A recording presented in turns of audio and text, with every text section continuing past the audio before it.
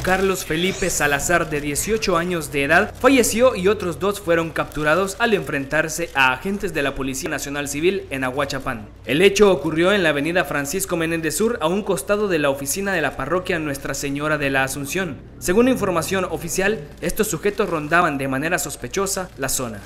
El equipo le hace alto al, al vehículo, no se detiene y cuando el compañero lo interviene para identificarlos, eh, un sujeto portaba una arma y empuja la puerta, golpea al compañero y el compañero se defiende y dispara y es así como queda ese sujeto fuera de la camioneta. La PNC mencionó que el fallecido y los capturados son miembros de estructuras criminales, mientras que hay un cuarto que se dio a la fuga y al cierre de esta nota no se reportan más capturas.